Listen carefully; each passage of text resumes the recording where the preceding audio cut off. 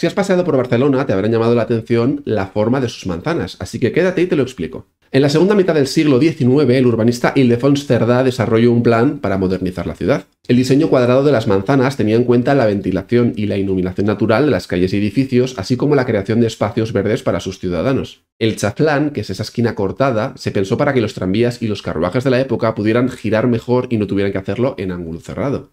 Y así también se conseguía más luz dentro de los edificios.